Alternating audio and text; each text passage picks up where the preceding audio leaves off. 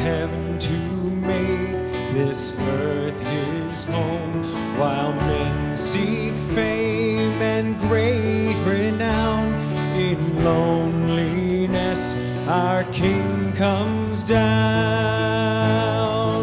Jesus jesus precious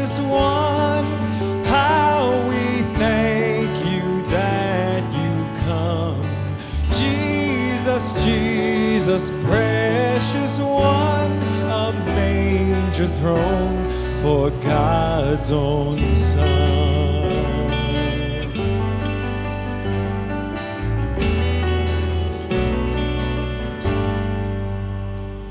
You left the sound of angels' praise to come for men with unkind ways, and by this baby's helplessness, the power of nations is laid to rest. Jesus, Jesus, precious one, how we thank you that you've come. Jesus, Jesus,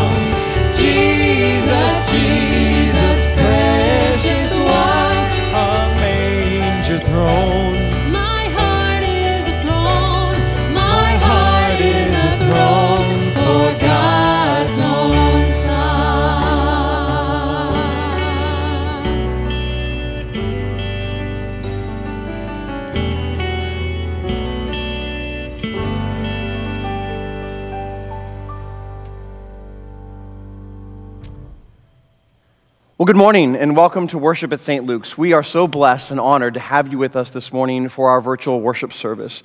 Uh, if this is your first time with us, we are so honored that you would join us. We hope you'll uh, fill out a card in the connect uh, in the uh, comment down below. There's a link there for you to fill out a connect card. We invite everyone to fill out that connect card. We don't have them in person anymore, but you can fill them out online and let, them, let us know how you can be. Uh, we can be in ministry with you.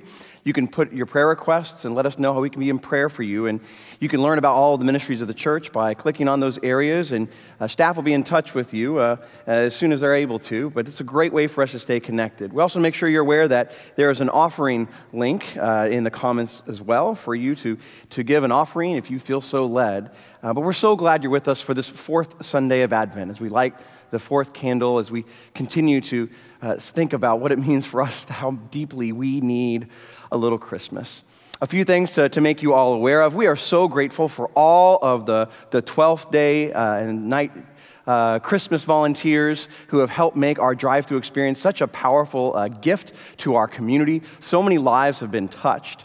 But due to uh, the projected inclement weather, lots of rain and lots of lightning beginning this afternoon, uh, we are not able to have this for its last night tonight. It breaks our hearts, uh, but we know uh, that it will not be a safe place, not only for our volunteers and our actors, but also for people to come through. And so uh, we will not be having, having uh, the 12 days drive through experience tonight. We do want to, and uh, we also want to let you know that because of the weather, uh, the Advent family service uh, will not be in person and outside. It will be live streamed on Facebook Live at the same time with the same uh, skits and the same lighting of the candle experience for children and families and anyone who would like to join us. So if you are a part, uh, have been a part of our family Advent service or you'd like to, it'll be here on Facebook Live at 4 o'clock with all the same elements, just instead of in your camp chair, you'll be in your recliner or your, your couch. We do want to encourage everyone to, to join us for one of our Christmas Eve services. Registration has gone live. There are two outdoor services, one at 4 p.m. and then one at 5:30 p.m. Families and children are invited to join us, and children are invited to come in costume as they would uh, for the nativity uh, pageant. So you can come as shepherds and wise people and uh, angels, and uh, kids are invited to be a part of that. They will be a part of the service uh, as they're in costume. Um, you'll get to hear our choir uh, singing, uh, backing up soloists, and Pastor Jen will be bringing a powerful message. Uh, and we even have lights for you, special lights, as we can lift them up and sing Silent Night. At, at- you can come to one of those two services here outside in person at 4 p.m. or 5:30 p.m. A- And then, uh, if that's not uh, something you'd be taken advantage of, we want to invite everyone to one of our three virtual services on December 24th. They will be at 7. 8:30 and 11:15 with the 11:15 service having communion. And so it will be a powerful night as we celebrate the coming of Christ. And there are multiple ways for you to join us to participate, to lift a candle uh, and, and sing joy to the world and uh, that Christ has come. With those pieces, we also want to invite you to come by and pick up a packet with your Christmas Eve candles and uh, the little wax protector thing, as well as an invitation.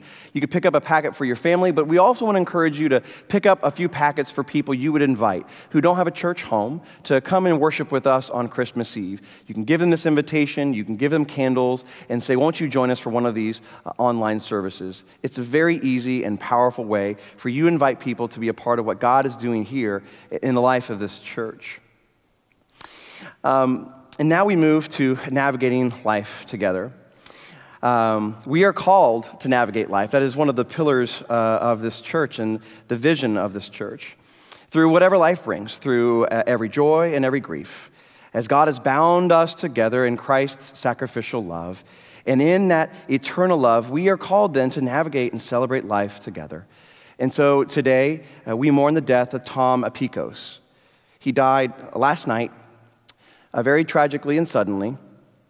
Um, he is the beloved husband of Lisa Apikos, and, and, um, and we deeply mourn uh, this, this great loss.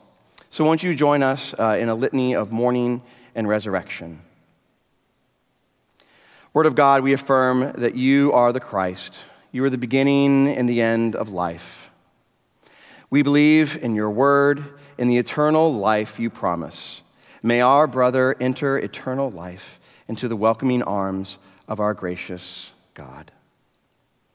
We invite you to please keep the Apicos family, as, well as their daughter Erin and her husband and her children, in your thoughts and prayers uh, as they now uh, begin to mourn deeply this loss and still step into this, this season. Uh, that brings us such a juxtaposition. So now let's, let's be about worship.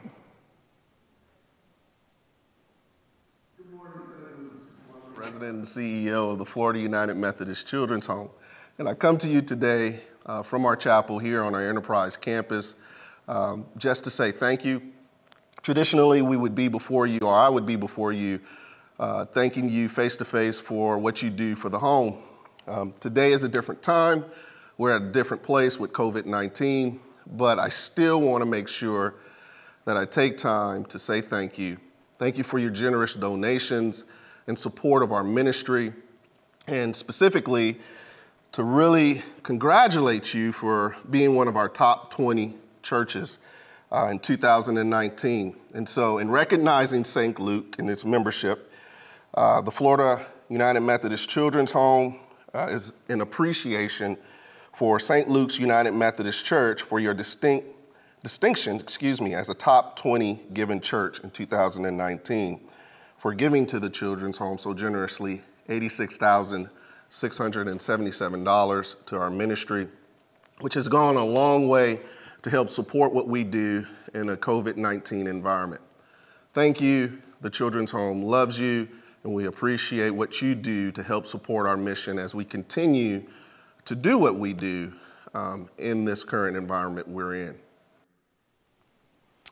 So, we are continuing our 40 uh, year tradition of collecting all of our Christmas Eve offering for children in honor of uh, the Christ child. And so, as we have done for the last 40 years of the life of this church, uh, 100% given uh, uh, of our Christmas Eve offering will go to ministries to help children and families in our Central Florida community, shared between the, the Children's Home again and also our, our currently unfunded Restoring Hope vision uh, of helping children with housing and sustainable food uh, sources uh, as well as supporting their families with job security. Uh, you and your offering will continue to uh, make a huge benefit in the lives of people and in lives of especially children. You will receive a, a letter uh, this week and an offering envelope to, to send back, designating your gift between the operating budget uh, and our Christmas Eve offering, assisting uh, in the technical training and the things that God is calling us to do in this next season, in this next year. Now let's be about worship. Please join us in our call to worship. Born thy people to deliver, born a child and yet a king. Born to reign in us forever, now thy gracious kingdom bring. By thine own eternal spirit, rule in all our hearts alone. By thine all sufficient presence, raise us to thy glorious throne.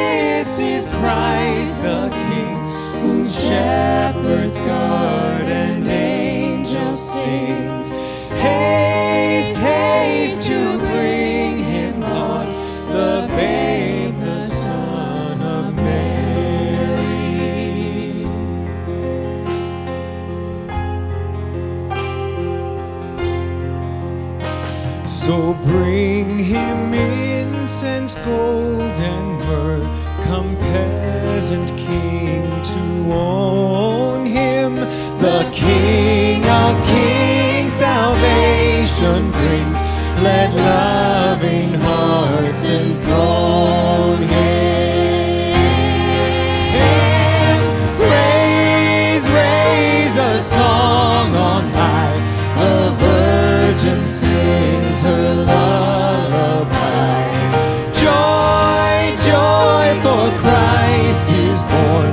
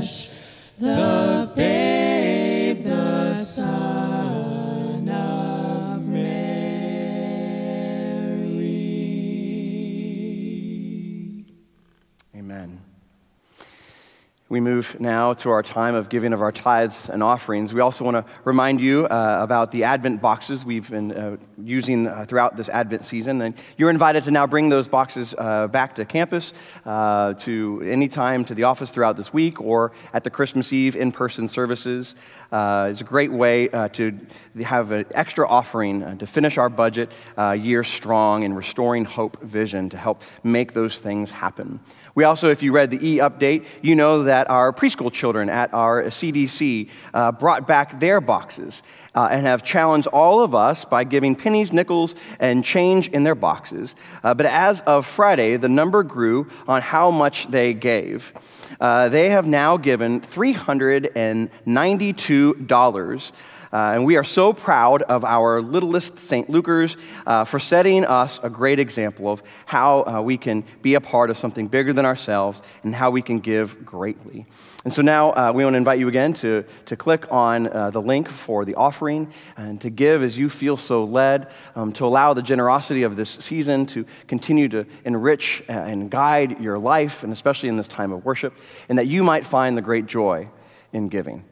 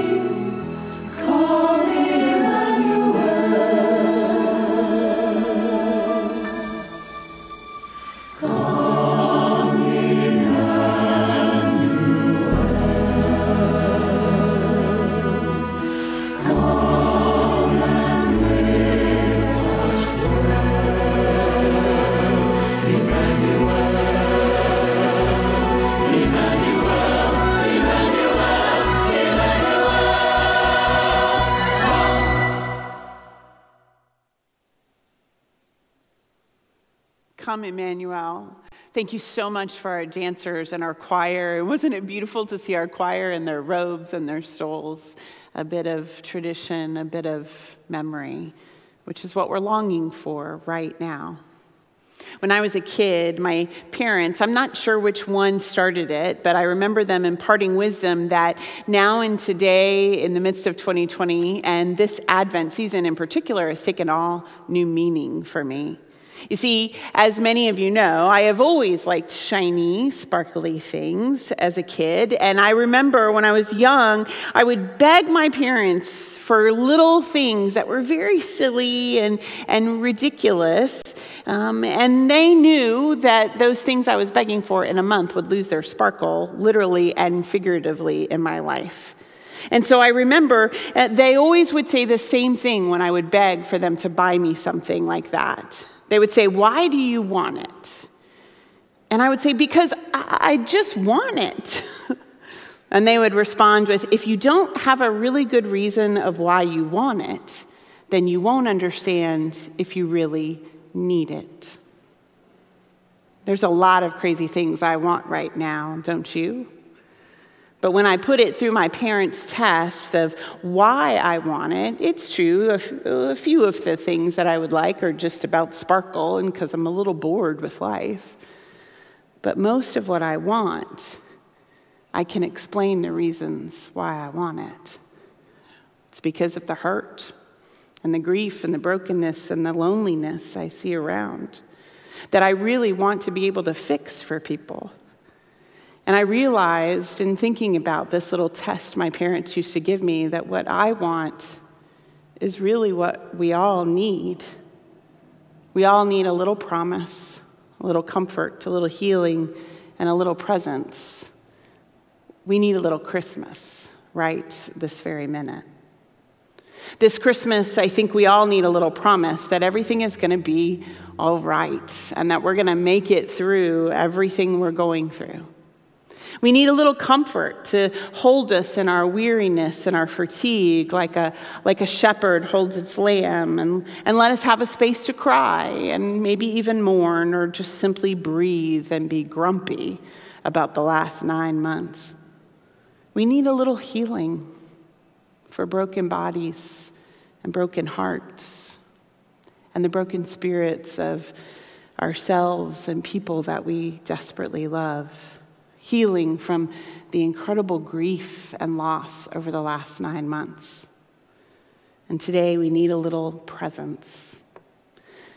I don't know about you, but I'm missing the presence of people in my life. It's been nine months of not seeing people that I love. You know, uh, there are people we always miss during this season, no matter when it hits us people we've lost or people who have moved away or moved out of our lives. But this year, all of us are missing the presence of others. Maybe because we can't travel, maybe because their vulnerability is keeping them home or keeping us home. We long for the physical presence not only of those that we've lost in years past, but also the presence of those whom we simply cannot be with during this pandemic. We miss your presence around here. We miss your voice and your laughter and your conversations that brings this place to life. And some of us, if we're honest, we're missing the presence of God. I know we don't like to say that out loud, and, and we don't like to admit it, especially in church. But many people are missing feeling God's presence, God's holy presence. Even those who are coming to this sanctuary, it's, it's just different. We're missing the presence of others and the energy and the, the power of the Holy Spirit. Some people are missing the presence of of what was. We can't even name it.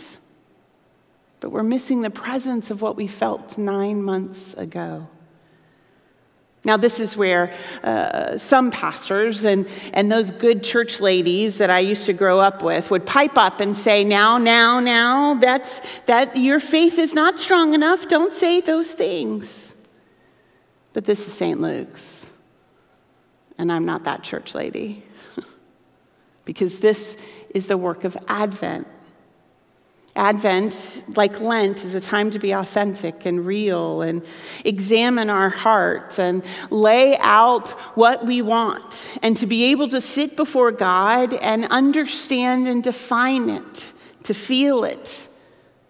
So that God, in the midst of Christmas, in the midst of our incarnation, can give us what our hearts really need. And today, what we need is a little presence. God, we are lonely. We need you. Look around. God, we are lonely. We need you. Look around. I am coming with new life. God, we are lonely. We need you. Look around. I am coming with new birth. God, we are lonely. We need you. Look around. I am coming with a new love. God, we are lonely. We need you. Look around. I will be with you, present now and forever.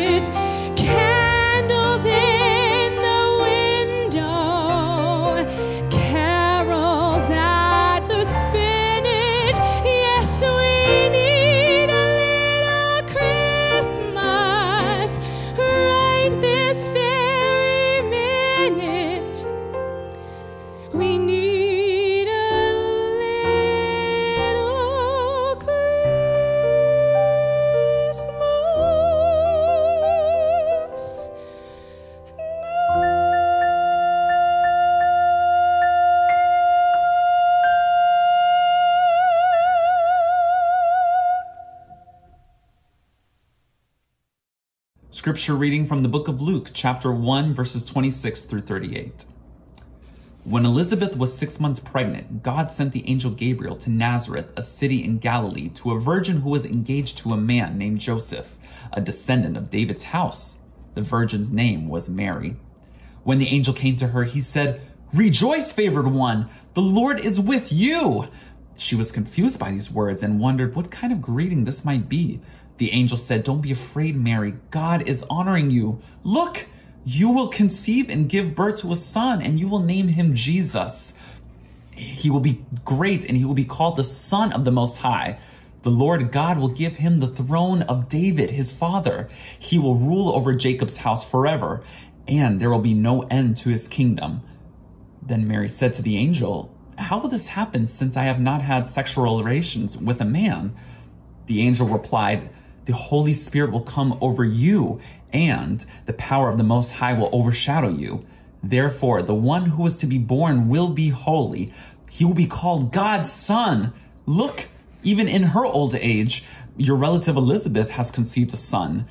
This woman who was labeled unable to conceive is now six months pregnant. Nothing is impossible for God. Then Mary said, I am the Lord's servant.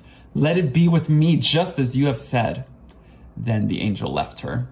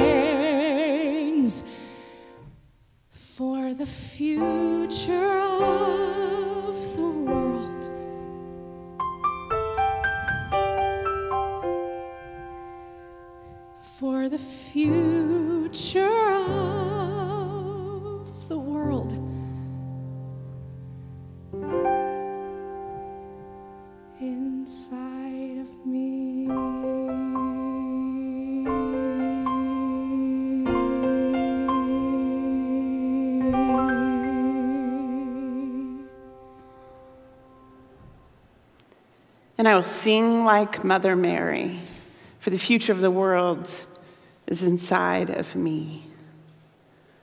In the midst of people waiting, crying out to God for hundreds of years because of their loneliness and their isolation and their inability to feel God's presence.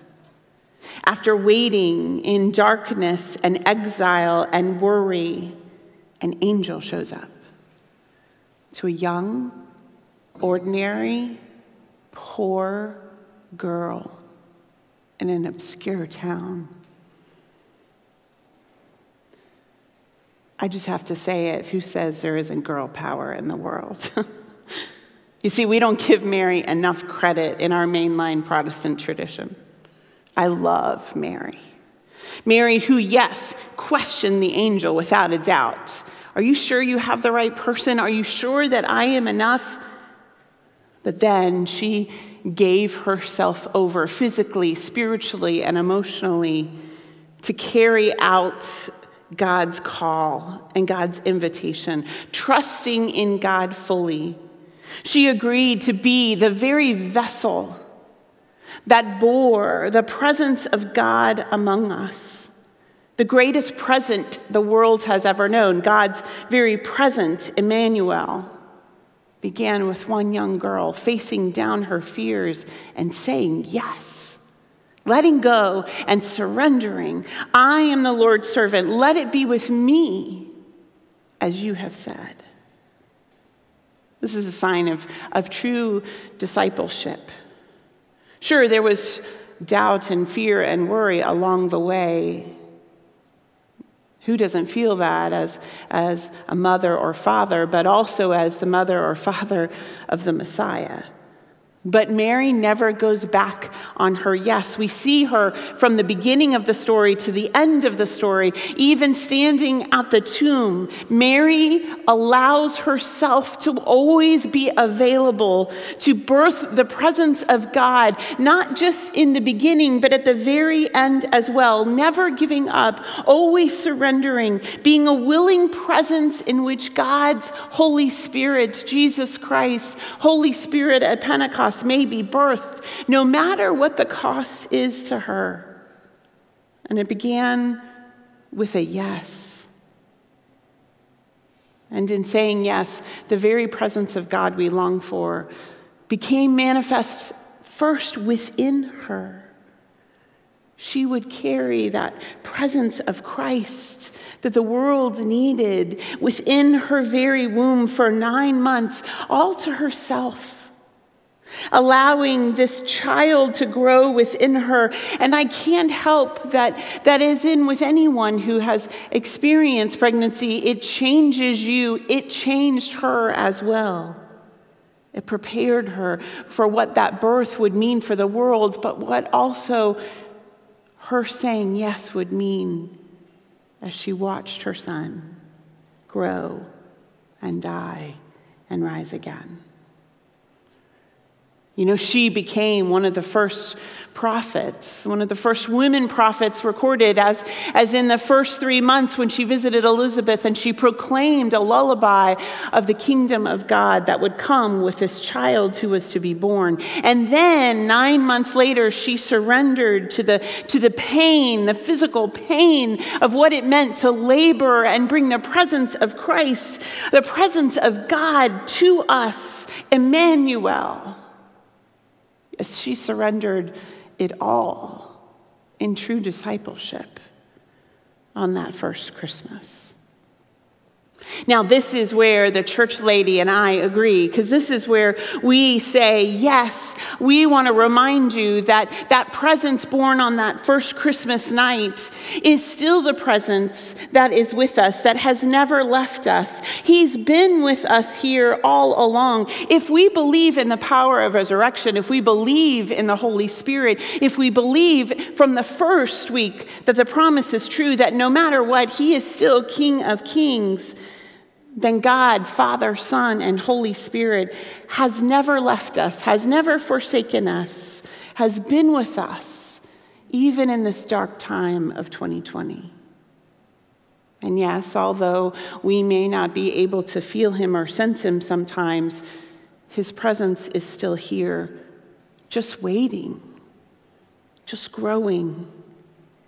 We now need to take our cue from Mary and say yes. To say, I, I now am the Lord's servant. I carry that song within me. Let it be with me, as you have said.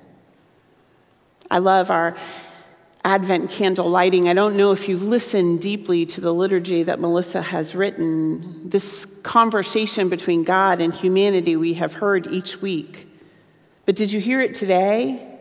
God, we are, we are lonely. We need you. And God replies again and again Look around. I'm coming. I'm coming in new life, in new birth, even in new love.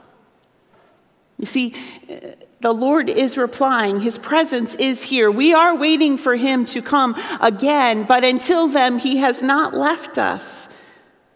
But the truth is, what are we really looking for? What are we listening to hear? Because the invitation of the, the angel to Mary that day is the same invitation that is being whispered in our ears.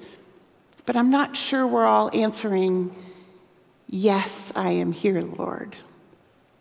You see, we say we do not feel God or feel the Holy Spirit, but it could be because we need to let go of some control because of what we've held on to so tightly in order to surrender to God birthing something new of the presence of Jesus in our hearts.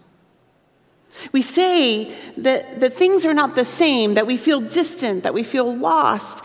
But maybe it's also not just the circumstances of the world, but because maybe we need to let go of what was enough to allow the present of Christ to be birthed in what is, even in the middle of what we don't like. We say we feel disconnection and division and anger of the world around us, but maybe, maybe God is trying to give each of us a new understanding, a new vision, a new way to love even our enemies, the ones with different opinions.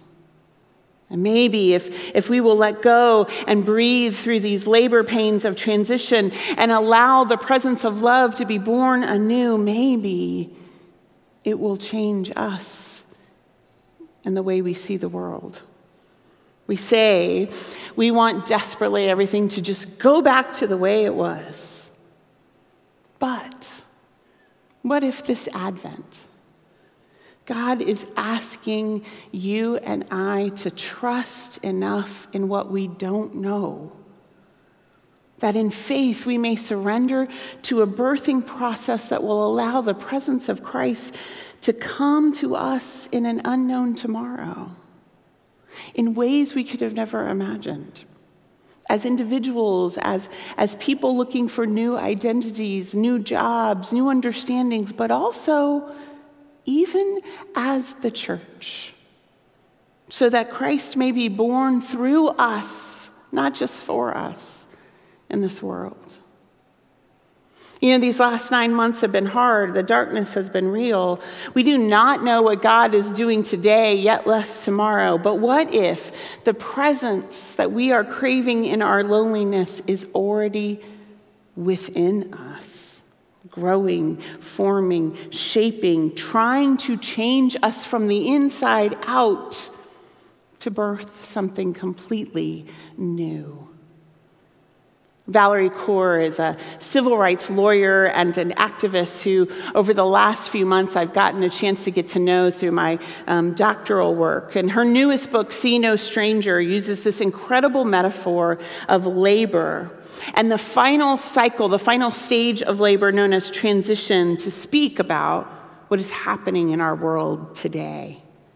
She asks the question that while so many speak of the injustice and the intolerance and the division and the pain they see in the world right now as the darkness of the tomb, she asks, what if it is really the darkness of the womb? What if what we're experiencing is this powerful metaphor of birthing and labor? What if the darkness we have seen is, in fact, God preparing our bodies and souls and the body of Christ to birth something new into the world for us, in us, through us, new life, new love? And our work as the people of faith is simply, as Mary did, to say yes. Valerie Kaur talks about that last stage of labor, which is aptly known as the ring of fire transition. I won't go into the details, but let's just say it's when the body makes its last adjustment, just adjustments for that baby to be pushed out into the world. It, it's the last changes that, that allow a body to, to push new life into being. And it is the moment of greatest pain, of greatest impact. It's, it's the moment when most women look around at whoever is standing near and say, mm, Can we think about this and pretend this never happened? But it's the moment when the woman realizes that all she can do is surrender to the ring of fire and to breathe and to push through a moment which literally makes her eyes go dark with pain and surrender and trust that the process of life and this ring of fire will bring us the new love we never have met or could imagine our hearts could grow to love. My friends, what if these last nine months have in fact been the darkness not of the tomb, but of the womb? What if we were to allow ourselves to trust and surrender and breathe and push, God may birth a new understanding of his life and resurrection and love into the world through us, his holy people. What if God wants to birth a new presence of the church? To reach people and lift up equity and justice and fill the gaps of the kingdom of God more than ever before for you, for the ones you love, to be a presence of God in a whole new way. What would you have to let go of? What questions? What doubts? What fears? What old ways, what grief, in order to sing the lullaby of Mary, to say yes for this birth to happen, for a dark and weary world. That's the question Mary begs of us today. Sure, we need a little presence, but God says, It is within you if you will let me do my work. It's interesting that as a mainline church, we only read this Annunciation story during Advent, and, and we condense the Annunciation and, and the gestation of Jesus and that movement in the womb and then the birth into 15 days. If only it could work that way. You see, we get it all wrong. But the Orthodox and the Eastern churches, they do get it right. You see, they celebrate this story of the Annunciation at the same time every year, exactly nine months before Christmas, which means it's celebrated on March 25th. And when did that fall this year? exactly nine months ago, the week we shut down. The week our lives went dark in a whole new way.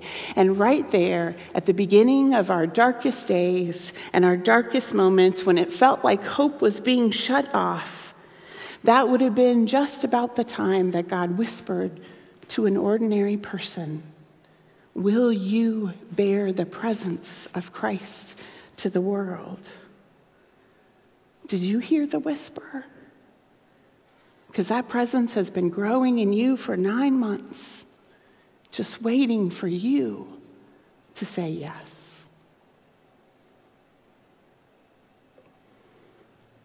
With that powerful word, I invite you to join me in this time of prayer where we center our hearts,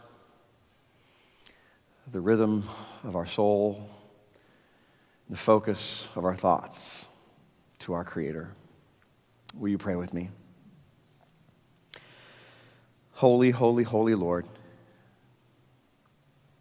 God of all creation and God of new creation, God of birth and resurrection.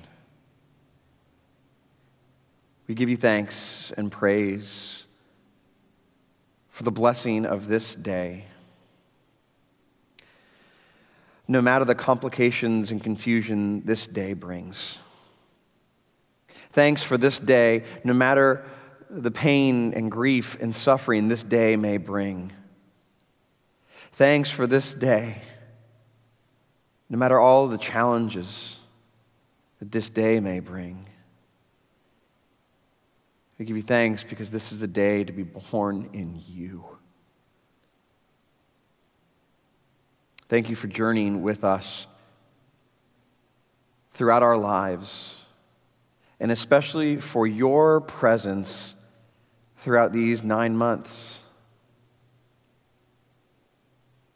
nurturing us through every challenge, guiding us through every excruciating pain and grief, holding us close when everything else around us seems to be falling apart. Thank you for your salvific work in our lives.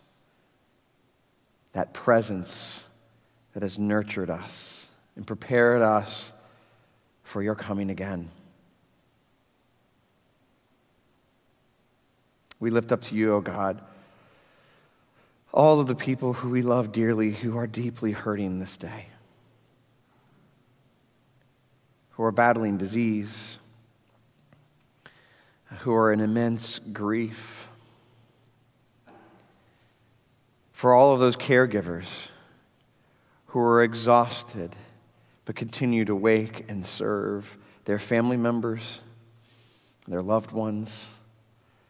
We give you thanks for those, uh, those frontline workers, those nurses and doctors and technicians who day after day continue to show up to be a part of your healing work, your presence.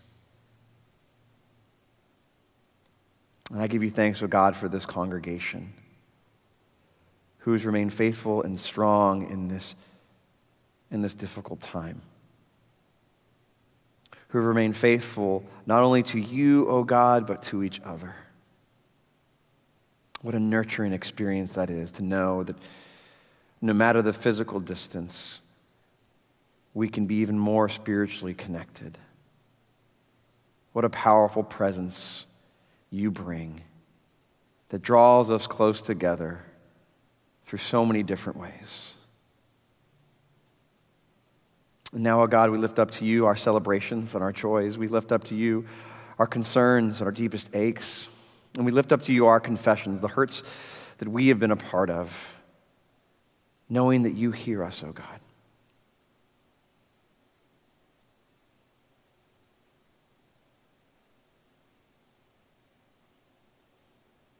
Thank you for celebrating with us, for being that presence and that dance partner in the greatest of joys.